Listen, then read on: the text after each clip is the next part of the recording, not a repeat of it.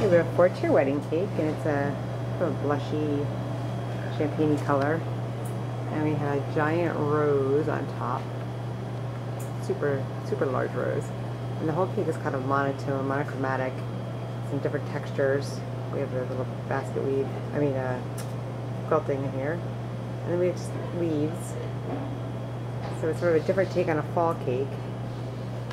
Tier we did really shimmery, you can see in the video. And then the quilting again. Now the bottom here is a little, little tribute to the husband, who's a big basketball fan. So we lined the board with basketballs.